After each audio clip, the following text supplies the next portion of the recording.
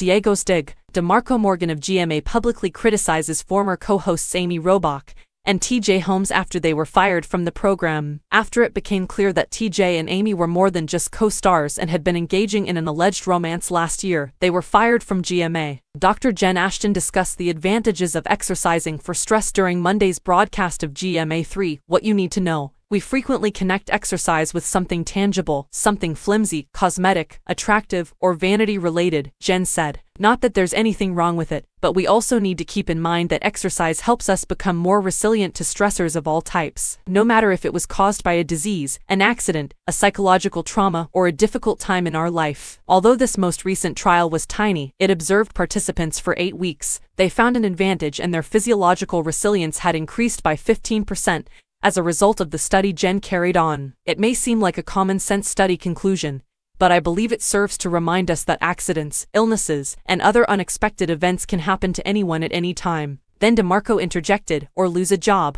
Yes, psychological and psychosocial stress are the main reasons why exercise is so crucial. Exercise is no different for boosting resilience, just like you have a rainy day fund in your bank account, Jen said. When the film was posted on GMA3's Instagram, viewers swiftly replied in response to DeMarco's comment, or lose your job. Man out here insulting colleagues, one poster commented. Someone else chimed up, right. I also noticed that. Not cool. When TJ, 45, and Amy, 49, revealed their relationship in late November of last year, it shocked the TV industry. They reportedly started dating some months ago, in March 2022, while they were preparing for the New York City Half Marathon early in December, Page Six stated that Amy's 12-year marriage to the Melrose Place actor had been rocky, and that she was now in a happy relationship with TJ. They've consistently had issues over the years, and they ultimately split up, a source informed the publication. During that time, a different insider affirmed Amy and TJ's new relationship, they're dating, and they're extremely happy. They both separated from their wives, and since they are two consenting adults, they are free to do as they choose. According to a report from last month, Amy has no regrets regarding her relationship with TJ. It's not a fling, and they are truly in love, an insider told Us Weekly, claiming that things are serious between the two.